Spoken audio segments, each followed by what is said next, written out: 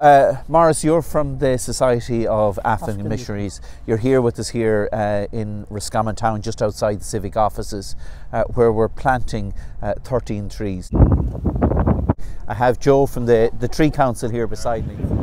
And the objective behind this is to try and build a wall right across the continent of Africa to hold the Sahara Desert uh, back, uh, to stop it encroaching on farmland, to give productive opportunities for people across Africa, planting trees right across those 12 countries, and as well as that, planting a 13th tree here in Ireland so we can do our bit for climate change, not just in the continent of Africa, but here in Ireland as well.